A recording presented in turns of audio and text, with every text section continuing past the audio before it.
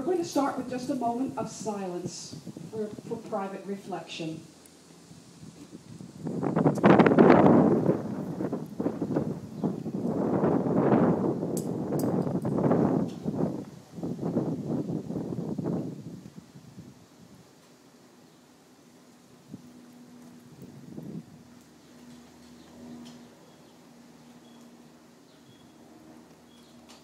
This is a prayer for unity.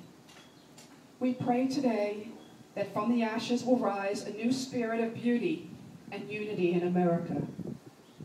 Across the country, our hearts have been knit together into a new tapestry of one America. Because of the September 11th tragedy, we have been bound together by a silver cord of hope and brotherhood and sisterhood. What was meant to drive us apart has drawn us together. May we always remember.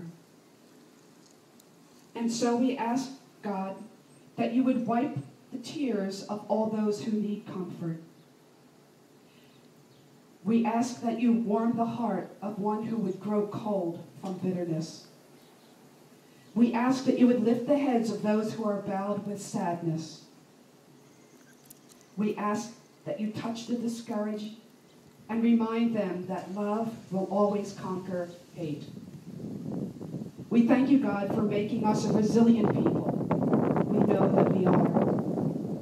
And we pray for the strength to rise again, to build again, and to live free from fear. We pray that you will give us the courage to face evil and the faith to believe that we will never be defeated. Hold us close to your heart. Amen.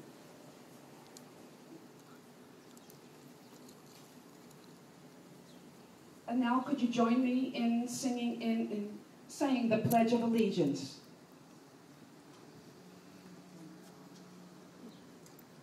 I pledge allegiance to the flag of the United States of America and to the republic for which it stands, one nation, under God, indivisible, with liberty and justice for all.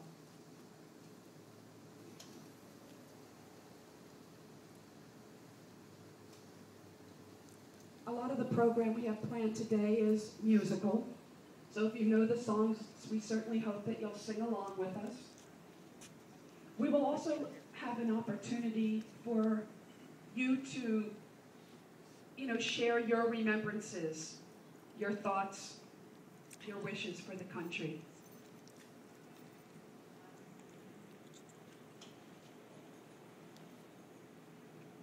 I'm going to start off with America the Beautiful. There's about 17 verses of that. We're only going to do two of them.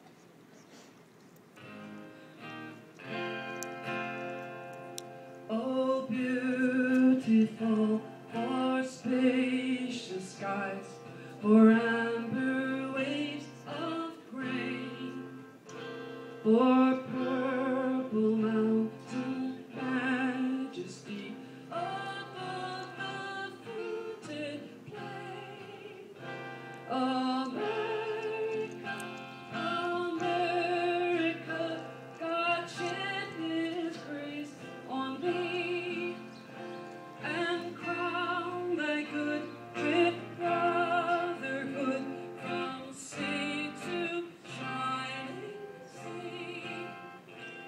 Oh, beautiful for patriots' dream that sees beyond